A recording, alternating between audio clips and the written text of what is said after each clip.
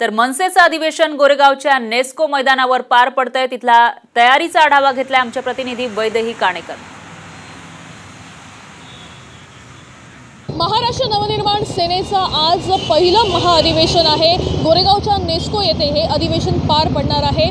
त्यासाठी या ठिकाणी गोरेगावच्या नेस्को ग्राउंडच्या बाहेर वातावरण निर्मिती करण्यात आलेली आहे. मोठ्या प्रमाणात मनसेचे बॅनर्स या ठिकाणी लावण्यात आले असल्याचं बघायला मिळत आहे पण एक जर गोष्ट आपण या ठिकाणी पाहिली तर या ठिकाणी कुठल्याही पद्धतीचा झेंडा जो आहे तो लावण्यात आलेला नाही आहे कारण आज राज ठाकरे आपल्या नवा झेंडा जो आहे तो संपूर्ण महाराष्ट्र सैनिकांसमोर जो आहे तो दाखवणार आहे. त्याच्यामुळे मनसेचा नवीन झेंडा कसा असेल याची उत्सुकता जी आहे ती प्रत्येकाला लागून राहिलेली आहे.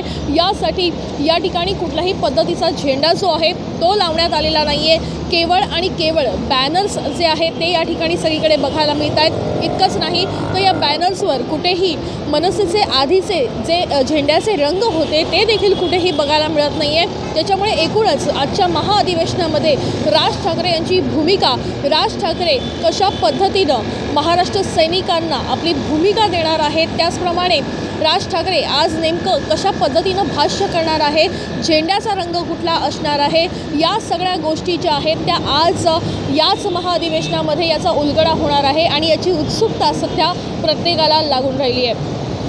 Vaidehi Kanekar Saam TV news Mumbai.